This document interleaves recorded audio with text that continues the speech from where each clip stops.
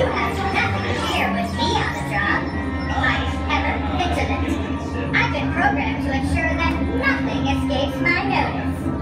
My sensors are on constant alert for the slightest sign of danger. You can all fly easy knowing that I am yours.